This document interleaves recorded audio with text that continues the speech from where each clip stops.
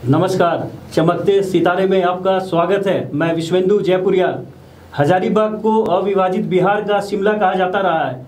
बहुत सुंदर जगह है ये, बहुत सारी चीज़ें यहाँ पे, पर हम जब यहाँ घूमने जाते हैं तो बहुत सारी चीज़ों को इग्नोर कर देते हैं। लेकिन हमारे साथ जो आज एक शख्सियत है, मृत्युंजय शर्मा वो अपने आसपास की चीज़ों पर ना सिर्फ़ नज़र रखते हैं बल्कि उस पर शोध भी करते हैं। और यही वजह है कि लिम्का बुक ऑफ़ रिकॉर्ड में इन्हें जगह मिला है। इन्होंने हजारीबाग के कन्हरी पहाड़ के फुटिल्स पर टॉलेस्ट एंड हिल की खोज की है जिसे चीटियों का बाम भी कह सकते हैं। तो मृत्युंजय शर्मा हमारे साथ है। आइए जानते हैं इनके बारे में। स्वागत है मृत्युंजय आपका। सबसे पहले जानना चाहेंगे आपने कन्हरी पहाड़ में बहुत तरह की खोज की है। कई तरह की तितलियों को खोजा है आपने बहुत तरह के कीट पतंगों को खोजा है। तो ये शुरुआत कहाँ से हुई? विश्वेंदु जी, शुरुआत कहाँ से हुई? ऐसा नहीं है, हमने नहीं खोजा है। ऐसा है कि अब हमारे अंदर जो है, खोजने की प्रवृत्ति खत्म हो गई है। पहले होता क्या था कि अंग्रेज़ लोग के समय में या ब्रिटिश में एक गजट का वो प्रकाशन होता था हर जिला में। तो गजट में होता क्या था कि वहाँ के जो भी, जो डिस्ट्रिक्ट मजिस्ट्रेट या जो भी अफसर थे, उनका ये ड्यूटी होता था कि उस ज़िले की हर घटना को, हर चीज़ को लिस्टेड करें। तो लिस्टिंग का हमारे पास आजकल के डेट में लिस्टिंग का कैपेसिटी ख़त्म हो गया है हर आदमी में।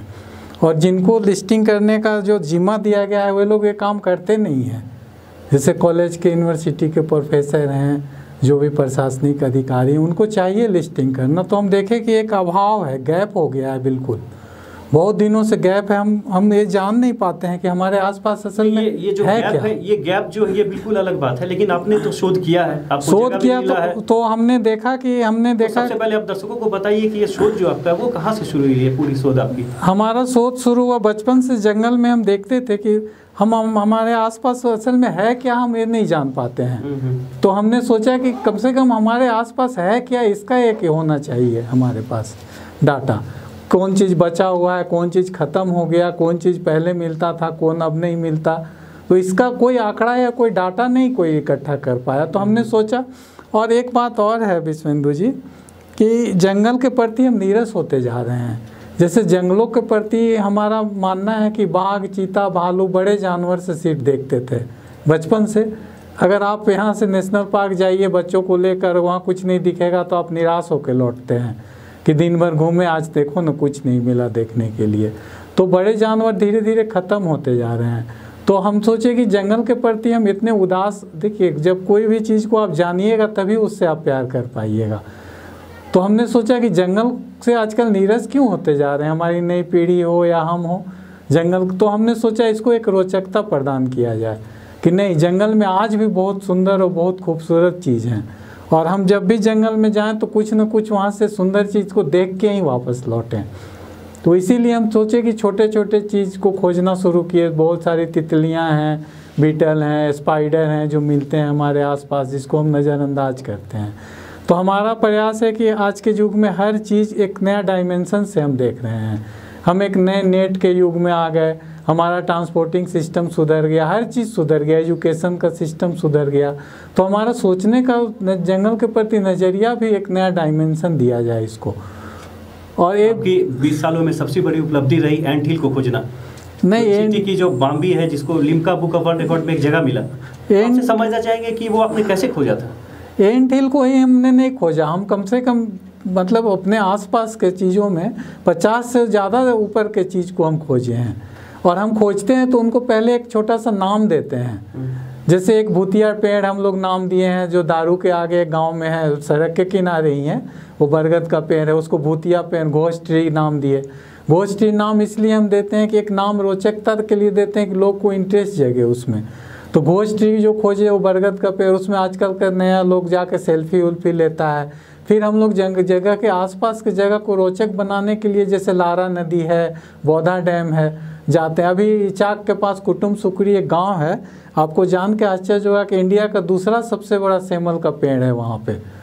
उसको हम लोग ही डिस्कवर किए। हालाँकि वो पेड़ बहुत लोग आते जाते देखते हैं। लेकिन हम सोचे कि नहीं, इसको देखा जाए कि आखिर इसका साइज़ इतना बड़ा है, फिर हम लोग उसको नेट पे डाले। नेट पे डाले तो हुआ कि नहीं, इसका साइज़ और उसका है, वो बावन फीट उसका घेरा है, गोलाई है नीचे। जबकि इंडिया का सबसे लार्जेस्ट उत्तराखंड में है, उसका चौवन फीट है गेट जो सेमल को छोड़ के मतलब और पेड़ में नहीं आ सकता इतना बड़ा। बरगद को छोड़ के सबसे बड़ा पेड़ है वो। तो हम लोग उसको एक नाम देते हैं पहले। उसके बाद हम लोग प्रशासन को सूचना दे देते हैं कि भाई आपके यहाँ ये चीज़ है।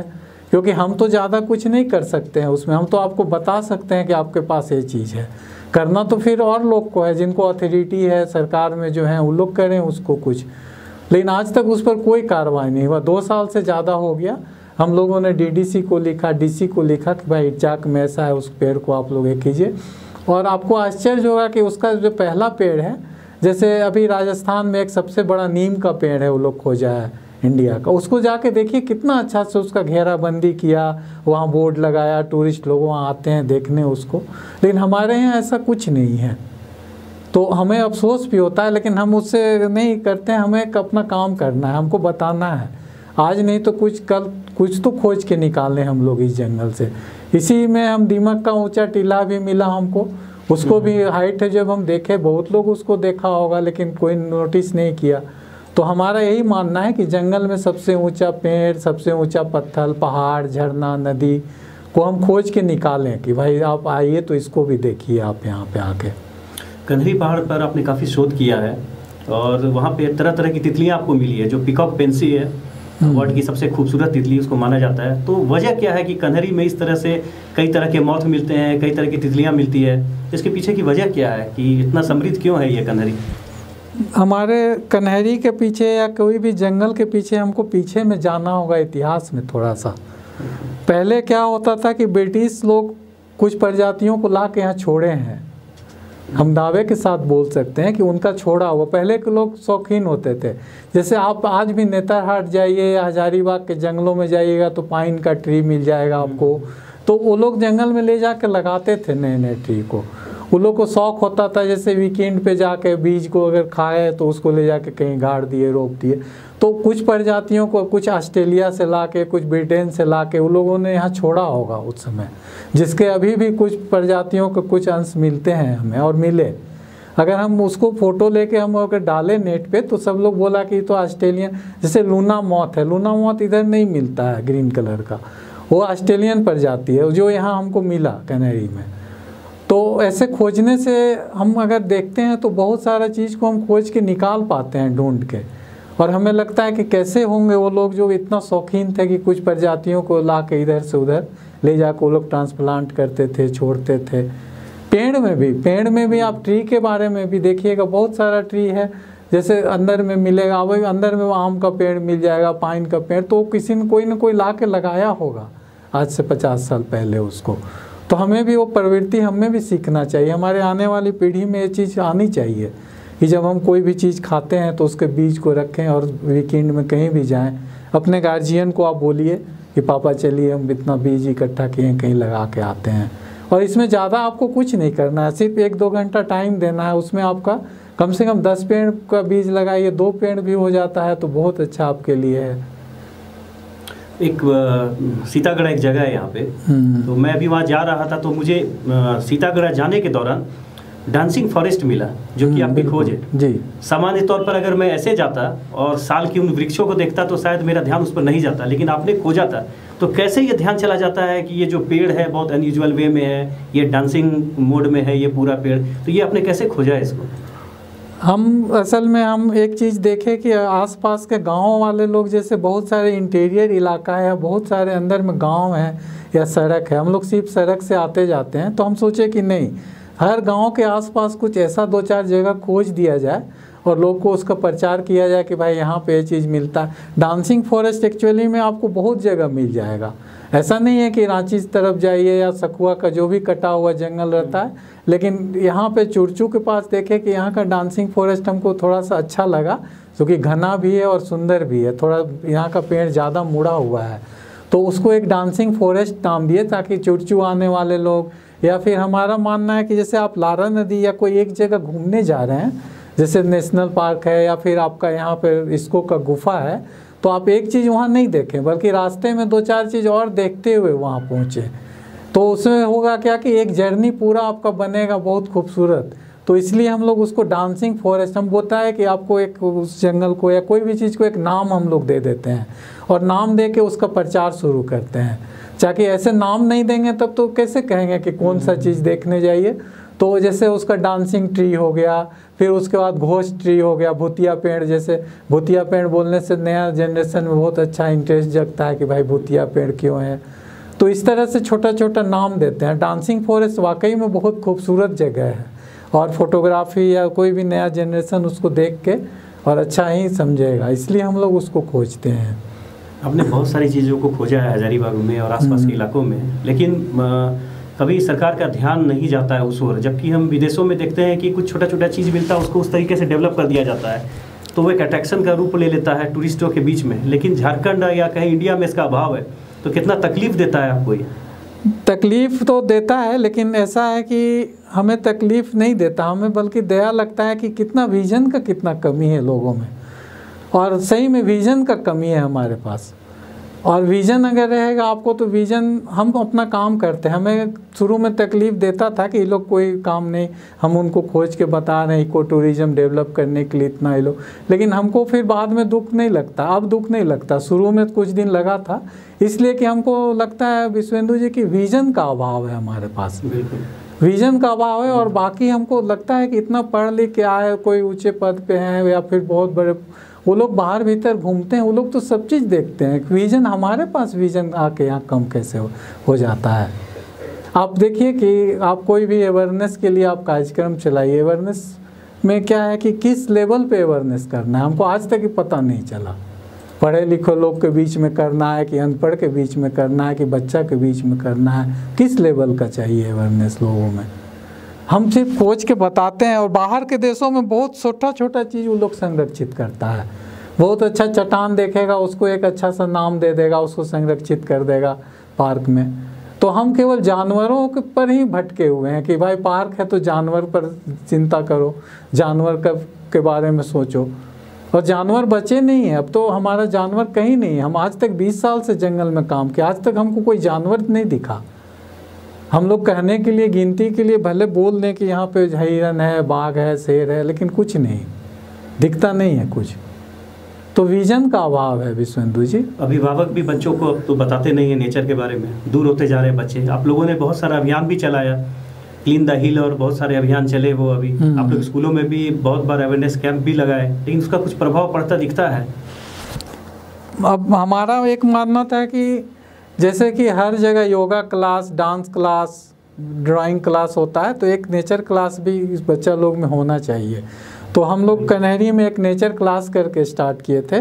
विश्वेंदु जी आपको जान के आश्चर्य होगा कि उसमें आजकल के बच्चे सेवन एट और नाइन्थ के बच्चे पलास का पेड़ और सखुआ का पेड़ और सागवन का पेड़ तक नहीं पहचान पाते हैं।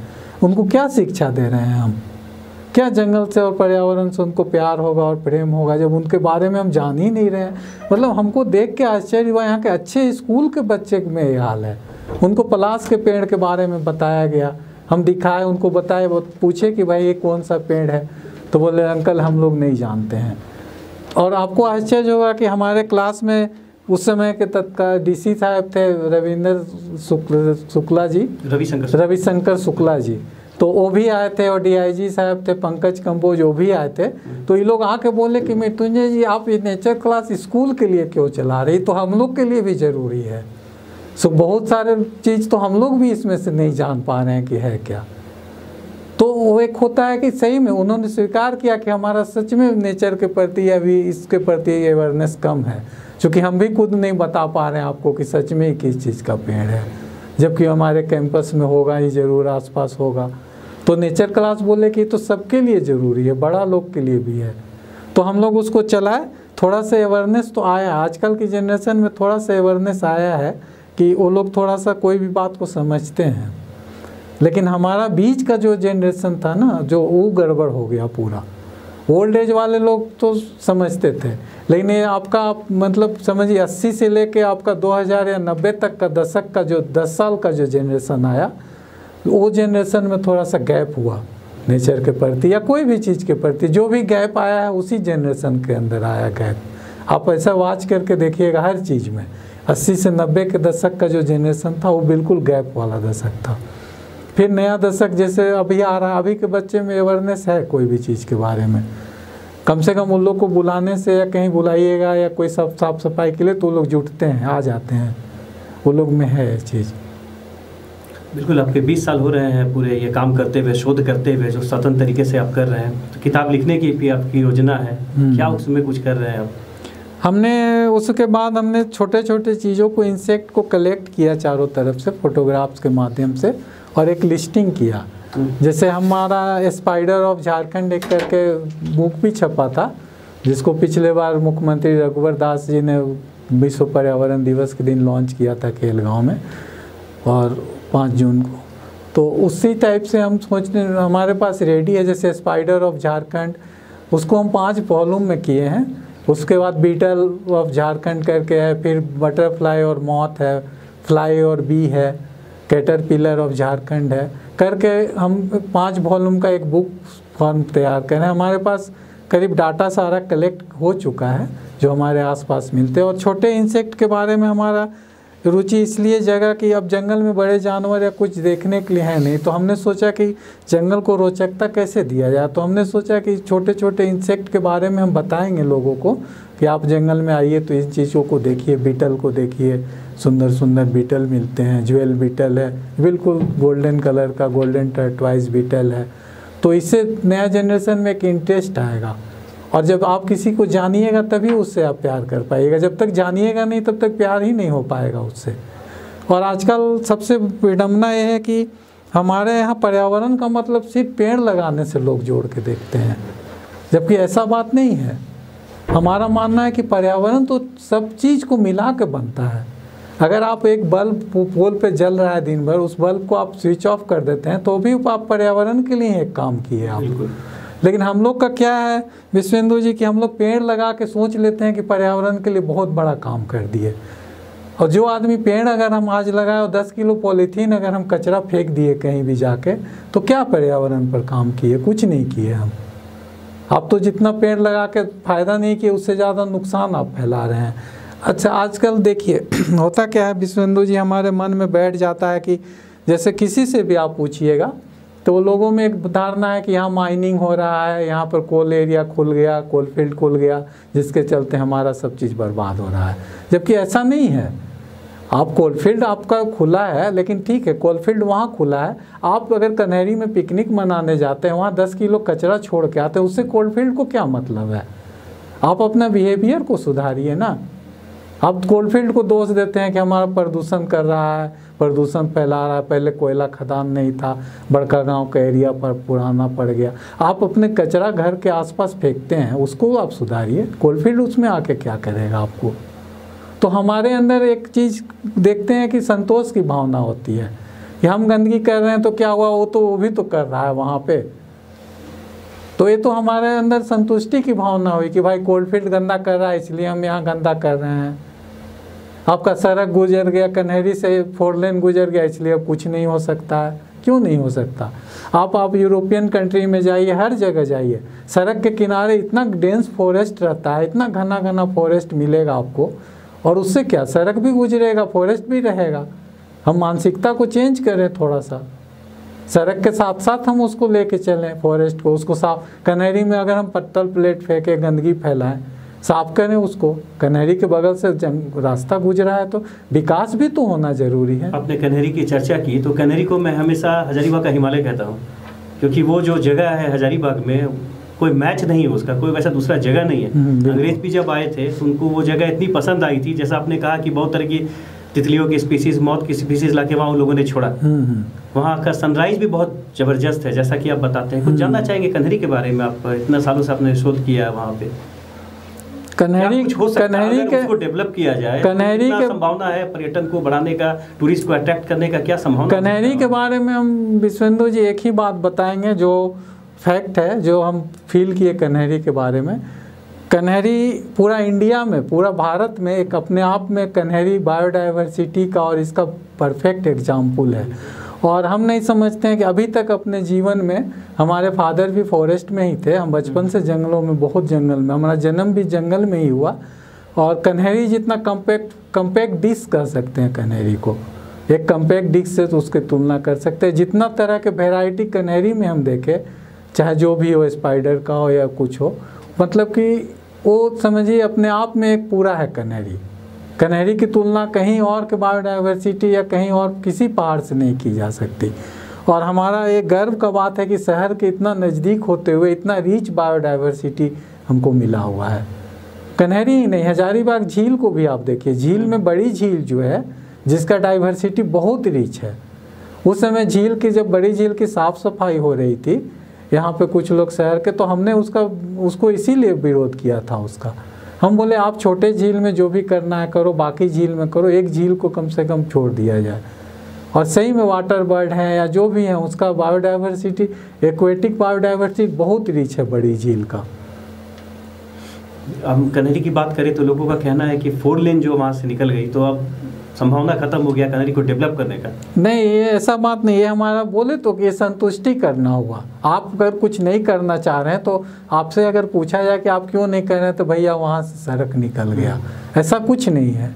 सड़क निकल गया, उसके बाद भी तो आपके पास बहुत ढेर सारा एरिया बचा हुआ है। उसको आप देखें ना। उसको करें। आप विकास के साथ उसका तालमेल बैठा के चलें। विकास का विरोधी नहीं। हम लोग शुरू से आज तक कभी विरोध नहीं कि हम लोग को लोग बोलता है हमको। कि आप कन्हरी पर रोड निकलवा दिए, आपको कुछ करना चाहिए था। हम बोले, नहीं, रोड निकला तो ठीक है, रोड के साथ साथ हम उसको डेवलप करें, उसको अच्छा से, उसको संजो के रखें।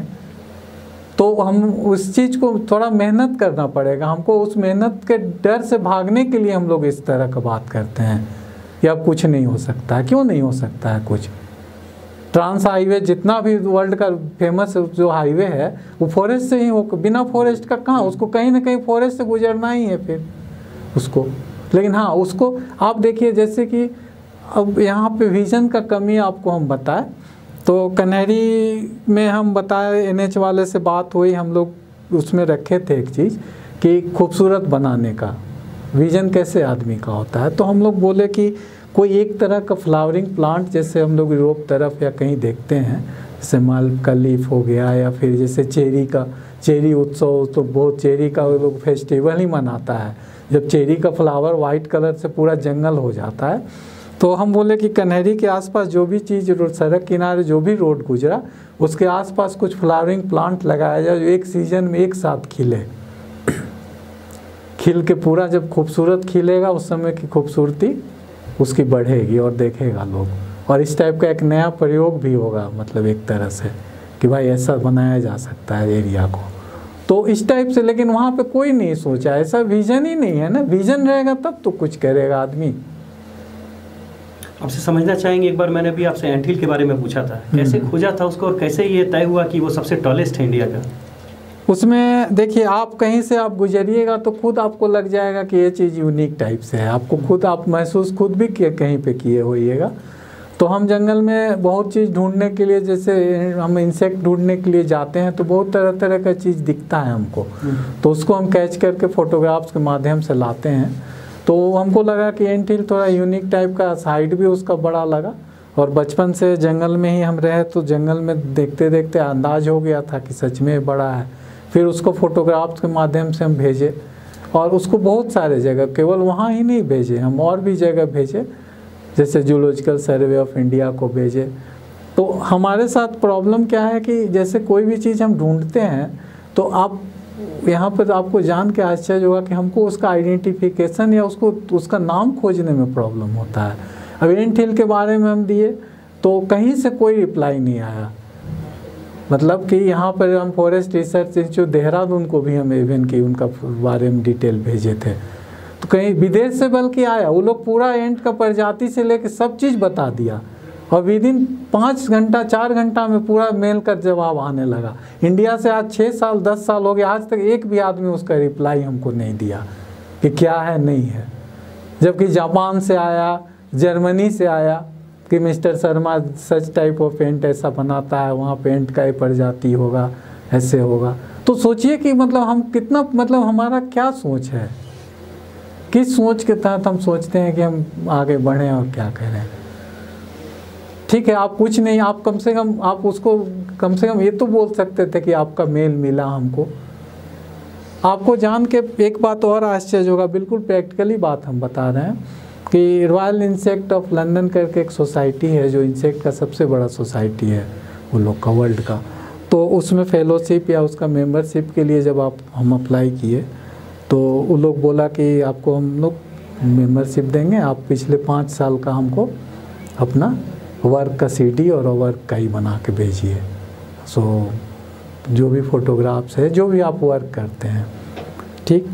और यहाँ पे जानते हैं यहाँ पे एक छोटा चीज़ के लिए भी हम भेजते हैं। आप साइंस ग्रेजुएट हैं कि आर्ट्स ग्रेजुएट कहाँ से आप किए कितना पढ़े कितना एजुकेशनल को आपका काम के बारे में आज तक कोई नहीं पूछा कि आप क्या काम किए।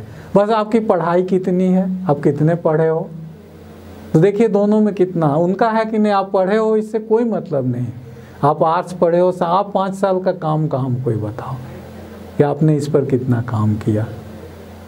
तो थोड़ा सा तो हम लोग को दुख लगता है लेकिन अब हम नहीं लगता है इसलिए कि अब उस स्टेज को पार कर चुके हैं हम। आज के डेट में हमारा काम का ज़रूर कहूँगा मैं कि हजारीबाग के लोग आपके काम को समझते हैं। आपने बहुत सारी चीज़ों से हमें परिचित कराया है। आपने एक प्रदर्शनी भी लगाए थे अपनी फोटोग्राफी की झील पे। जी। इसको लेके काफ़ी चर्चाएँ भी हुई थी। जी जी। समझना चाहेंगे आपने इतना काम किया इतने सारे फोटोग्राफ्स लिए हैं कैनरी से लेके अलग अलग स्पॉट्स पे। तो क्या कभी कोई ऐसी योजना है कि एक किताब के तौर पे उनको लेके आए बच्चों के लिए, ताकि वो भी नेचर को समझ सके, वो जान सके कि उनका ये जो पूरा हजारीबाग है, ये जो अपना हजारीबाग है, ये काफ़ी समृद्ध है? उसमें विश्वेंदु जी कन्हैरी पर हम एक एग्जीबिशन लगाए थे, उसका नाम ट्रिब्यूट टू कन्हैरी करके हम दिए थे। ट्रिब्यूट टू कन्हैरी करके और वो इन मतलब झारखंड का one of the largest exhibition था किसी एक सब्जेक्ट पे।